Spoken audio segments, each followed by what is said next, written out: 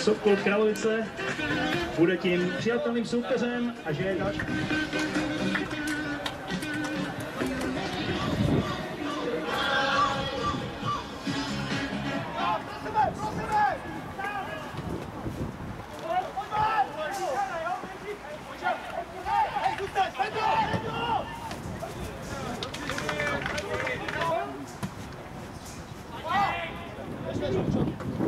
Let's go.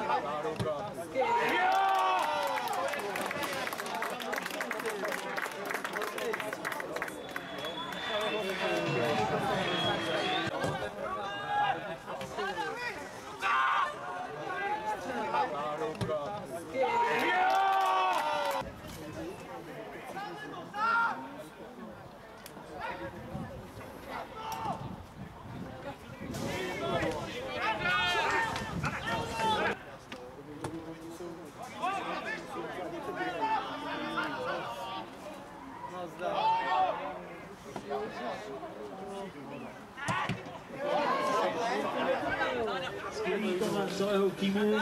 Tak díky kluci a tři body zůstávají tady doma. Zápas